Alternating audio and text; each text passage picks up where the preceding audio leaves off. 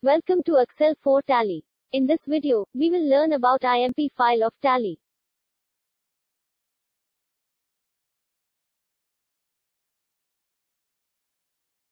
This is the XML file which we want to import in Tally.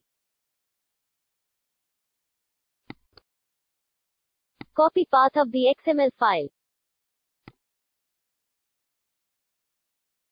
Click on Configuration and open Configuration of Tally.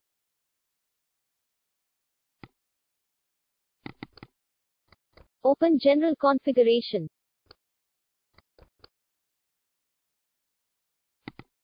Enable this option to see the Tally error report.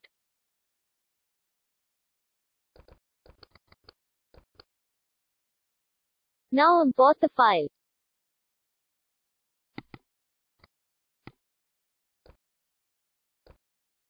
Error report will show in Calculator panel in Tally.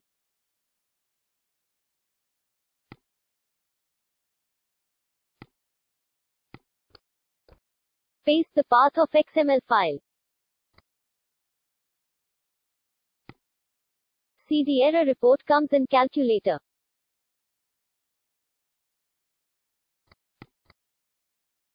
To see the error report in details, open IMP file of Tally.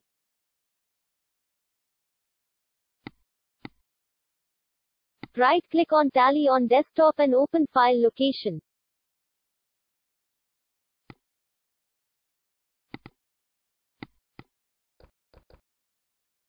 Search IMP file here. Open this file in Notepad. Come at the end of this file. Here it is showing the report of imported data and error.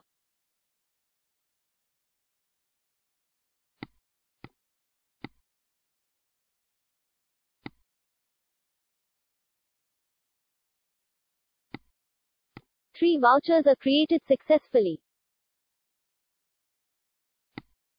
Two errors occurred while importing data. We can see the error report here in details.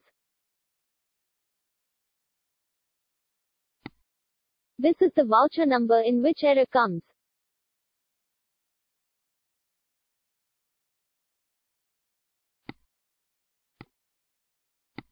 This is the error. Stock item does not exist in Tally so it is showing error.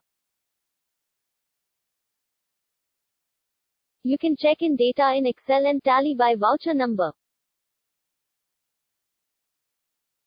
In this way, we can check Tally IMP file for error reports in Tally. Sign up for free to import data from Excel to Tally.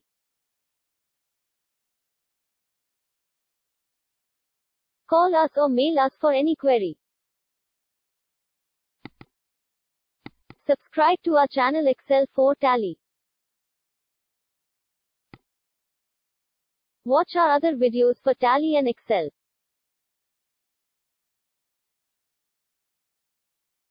Subscribe. Thank you for watching video.